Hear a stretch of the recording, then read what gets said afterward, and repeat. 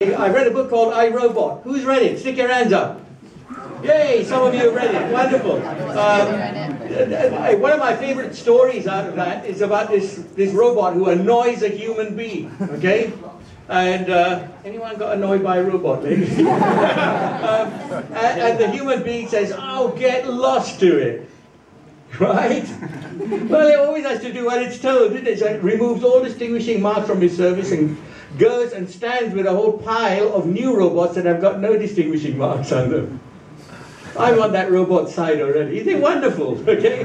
Uh, it's, really, it's, really, good. Uh, so, robotics have been kind of around in everybody's ideas for, for a while. I, I watched Horizon a few days ago. It was supposed to be about curing cancer, okay?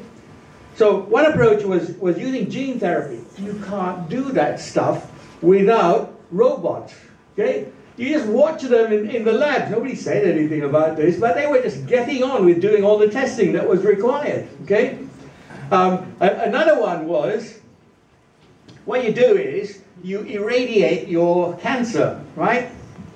Well, if you put a big dose in, everything gets blasted and, and you know, it has, it has horrible side effects. So what you do is you, you, you put a narrow beam through this, and it's very low power, all right? And it goes through the, the cancer. And then you do it again with a different angle.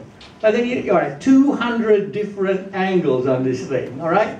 So the surrounding tissue sees nothing at all, basically. And the cancer gets hit by 200 times. It You see what I mean? Right? Really clever. And what makes it happen? There's a robot arm with the, with the, uh, with the treatment device in it. So it, it really is uh, extraordinary. The, the most amazing one out of the whole lot was a uh, robot surgeon. Anyone see the robot surgeon? It was superb. What, they, what they've done is it's a combination of, of NASA and the, and the US Department of Defense. What they want to do is to put these things where there isn't a surgeon, like in space. Okay? So you get here, like this thing is supposed to be able to operate on you. And uh, so they had this expert on, on cancer, and he was sitting at the other end of the room looking at the screen, and, and the robot was kind of following his hands, okay? Only it did clever things like it didn't cut blood vessels, even if his hands said You know, it's stuff like that that goes on, okay? So uh, robotics has got an immense future.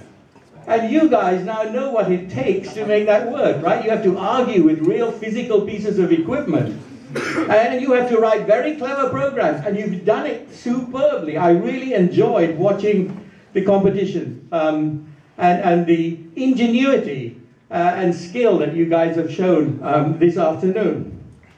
Okay, where's this?